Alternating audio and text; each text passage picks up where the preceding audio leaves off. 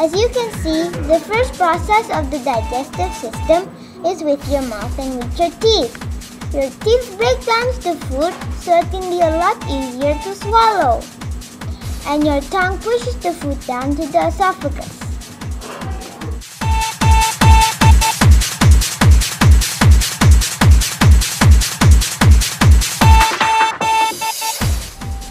When the food is in the esophagus, the esophagus push, pushes down the food and leaves a pathway to the stomach.